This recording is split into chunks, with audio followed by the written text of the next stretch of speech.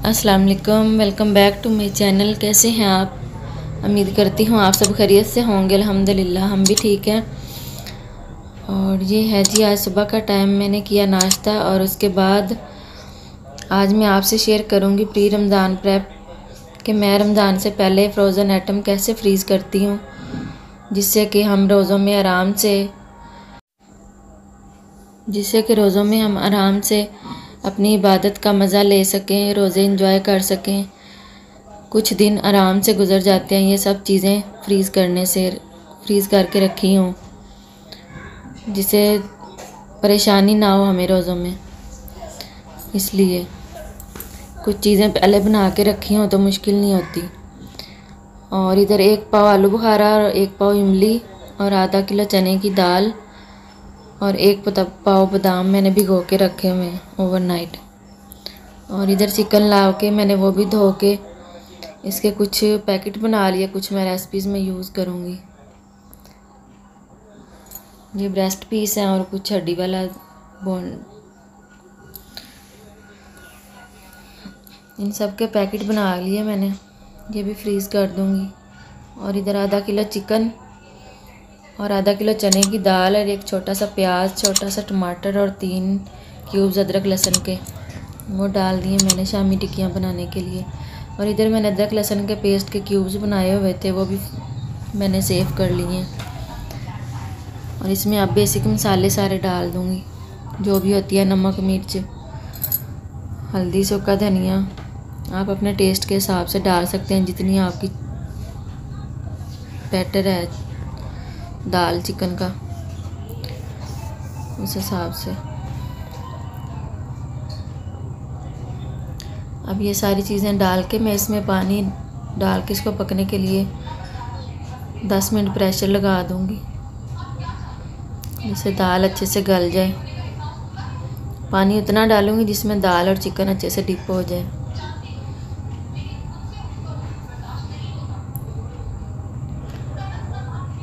दस मिनट मैंने इसको प्रेशर लगा लिया। दाल अच्छे से गल गई थी, मैंने इसको मैश कर लिया हड्डियाँ थोड़ी थोड़ी थी अलग कर ली। और एक टीस्पून पिसा हुआ ज़ीरा और एक टीस्पून कुटी मिर्च डाल दिए इसमें। ये डालने से फ्राई करने से बहुत अच्छा टेस्ट आता है। जब हम फ्राई करते हैं शामी टिक्कियाँ और हरा धनिया, पुदीना और हरी मिर्च, ये भी ब्रिक ब्रिक काट के मैंने डाल दी। और इसी में दो अंडे भी डाल दिए मैंने। अंडे इसके अंदर डालने से फिर जब हम फ्राई करते हैं बार बार अंडा लगाने की ज़रूरत नहीं होती। ये देखिए, सारी टिक्कियाँ शामिल मैंने बना के रख ली हैं।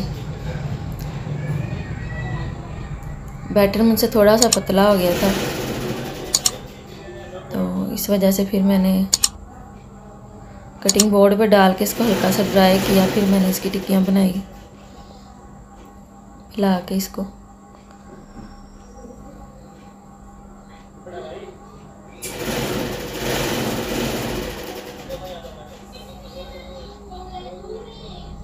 ये चीज़ें फ्रीज़ करने से, ये चीज़ें पहले से बना के रखने से बंदा आराम से अपने रोज़े इंजॉय कर सकता है, अच्छे से इबादत कर सकता है, कोई परेशानी नहीं होती।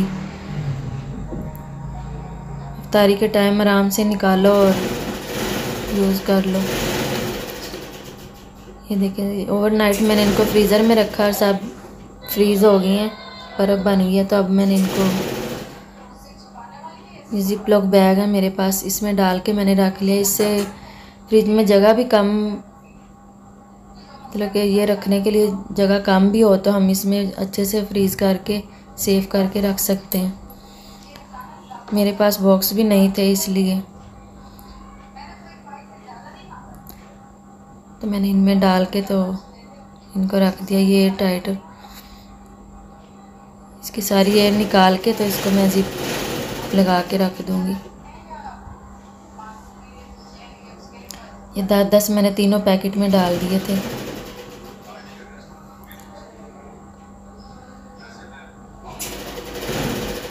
आराम से कुछ दिन रोज़ों के निकल जाएँगे। रोज़ हम एक चीज़ ही तो नहीं बनाते कभी कभी यूज़ होती हैं कभी कोई चीज़, कभी कोई चीज़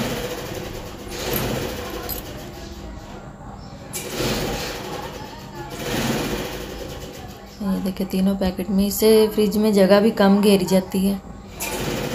और इधर मैंने पकौड़ों का मसाला भी बना के रख लिया।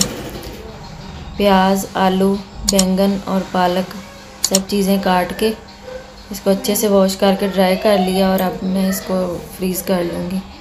जब पकोड़े बनाने हो, निकाल के इनको तो अपने हिसाब से जो भी बेसन वगैरह डाल के आपने बनाने, बना सकते हैं। रोज़ रोज़ सारी चीज़ें काटनी नहीं पड़ती।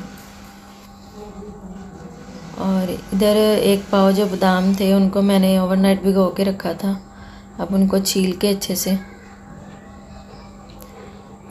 मैंने ब्लेंडर जग में डाल लिए आधा कप दूध डाला और इसको अच्छे से ब्लेंड करके ये चार चम्मच चीनी डाली मैंने। इसको अच्छे से ब्लेंड करके इसके क्यूब्स बना के रख लेंगे। रोज़ों में जब भी हमने दिल किया बादाम वाला दूध पीने का एक क्यूब्स डालो एक गिलास में तो आप बादाम वाले दूध का मज़ा ले सकते हैं। और इधर कुछ लीमू लेके आई थी मैं, उसका रस निकाल के तो मैंने वो भी उसके क्यूब्स बना के फ्रीज़ किए। रोज़ों में लीमू बहुत महँगे हो जाते हैं, अभी तो फिर भी कुछ सस्ते हैं। इसके कुछ क्यूब्स बना के मैं रख लूँगी। कभी ये यूज़ हो गए कभी टैंग, कभी कुछ। इस तरह। काफ़ी चीज़ों में यूज़ होता है लीमू। रोज़ों में आपको पता बहुत महँगा मिलता है। और ये कुछ क्यूज़ मैंने इसके जो बनाए थे, वो मैं अब जिप लॉक बैग में डाल के रख लूँगी। और मैं कुछ और लीमू लेके आई थी, उनका भी रस मैंने निकाल लिया। अब इसको मैं क्यूब्स में डाल के तो फ्रीज़ कर दूँगी। इधर इमली और आलू बुखारा जो मैंने भिगो के रखा था, अब मैं हाथ अच्छे से धो के तो इसकी गुटलियाँ निकाल रही हूँ।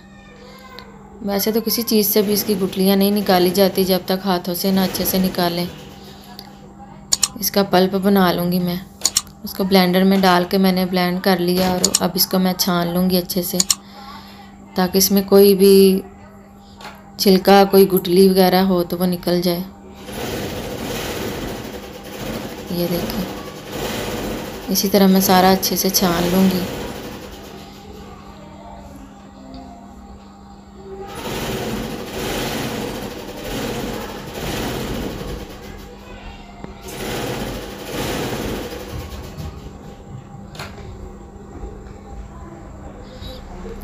सारा पल्प मैंने छान लिया ब्लेंड करके।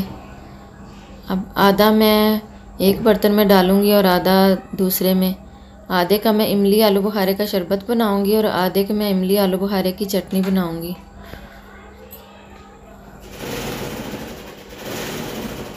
ये इमली आलू बुखारे का शरबत है। इसको अच्छे से मैंने थोड़ी देर पका लिया, दस पंद्रह मिनट। उसके बाद मैंने आधा किलो चीनी डाली है इसमें। इससे पहले आधा किलो पानी मैंने इसमें डाला था पल्प के अलावा। और आधा किलो चीनी डाली है, एक टीस्पून नमक।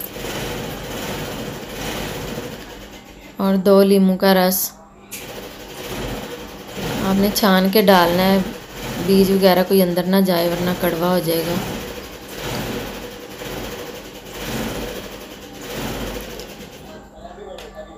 इसको जब चीनी डालनी है तो अच्छे से चलाते रहना पाँच दस मिनट।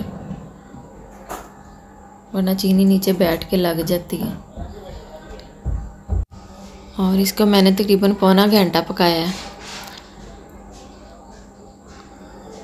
इसको अच्छे से चलाते हुए पका लिया। ये देखें, ये रेडी हो गया। हल्की सी इसको ऐसे करने से हल्की सी तार बन रही है। ठंडा होने से ये और भी गाढ़ा हो जाएगा। अब ये रेडी हो गया। और मैंने ठंडा करने के बाद इसको एक बोतल में डाल के रख लिया फ्रिज में। और ये महीना पूरा आराम से चल जाता है। बार बार इमली, आलू बुखारा भिगो और उसका वो शरबत बनाओ, सारा कुछ करो, छानो। ये एक बार बना के रख लें, आराम से आप पूरा महीना इन्जॉय कर सकते हैं। दो तीन चम्मच एक गिलास में डालें और बर्फ़ और ठंडा पानी डाल के आप इंजॉय करें। और इतना मज़े का बना था ना ये। क्या बताऊँ अब मैं आपको? ये देखें, बोतल में मैंने डाल के इसको तो फ्रिज में रख लिया। आराम से आपका एक महीना चल जाता, बिल्कुल भी ख़राब नहीं होता। ये थोड़ा सा बच गया था तो अब मैंने गिलास में डाल के मैंने इसको पिया।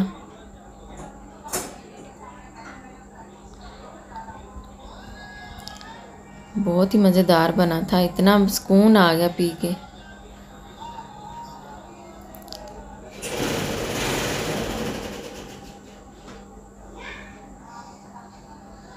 और इधर ब्रेड के किनारे जो बचते हैं, मैं वो फेंकती नहीं, उनको प्लेट में रख के ड्राई कर लेती हूँ और अब उनका मैं ब्रेड क्रम्स बना के रखूँगी। रमज़ान में बहुत सी रेसिपीज़ में यूज़ होता है ब्रेड क्रम्स तो मैं इस तरह बना के रख लेती हूँ। जिप लॉक बैग में डाल के मैं फ्रिज में रख लूँगी। ना तो ये ख़राब होगा और ना इसमें नमी आएगी, क्योंकि इसमें डालूँगी ना तो इसमें नमी नहीं जाती अंदर। ये टाइट होते हैं ना जिप लॉक बैग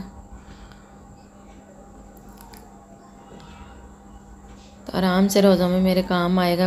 कुछ जो भी ब्रेड के साइड से उतरते हैं, किनारे उसके मैं प्लेट में डाल के रख लेती हूँ। छान टुटे में नहीं फेंकती। इस तरह मैं इसको रख लूँगी। और इधर मैं बना रही हूँ इमली आलू बुखारे की चटनी। उसको मैंने दस मिनट पहले पकाया है।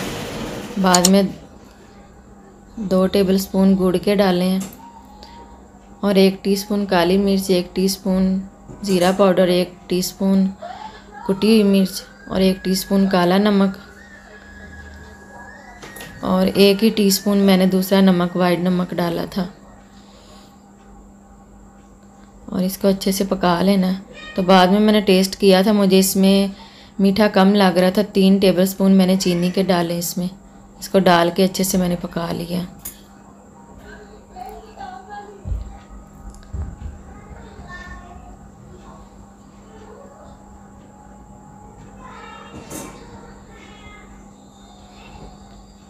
बहुत ही मज़ेदार बनती है। ये दही भल्लों में, काफ़ी चीज़ों में, रमज़ान में, अफ्तारी के टाइम यूज़ होती है।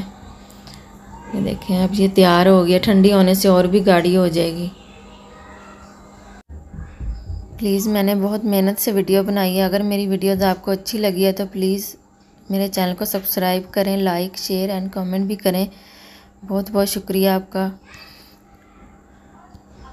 और ये देखे मैंने इसको ठंडा कर लिया अच्छे से और मेरे पास एक शीशे के जार था, ये कॉफ़ी का। उसमें डाल के मैंने इसको फ्रीज़ कर लिया। मतलब कि फ़्रिज में रखा, फ्रीज़र में नहीं रखा। फ्रिज में आराम से आपकी सेफ़ रहती है, ये बिल्कुल भी ख़राब नहीं होती। यह है कि ये डब्बी ड्राई होनी चाहिए जिसमें आपने इसको डाला है। पानी बिल्कुल भी नहीं होना चाहिए। ये देखिए, इतनी अच्छी बनी थी। बहुत ही अच्छा टेस्ट था।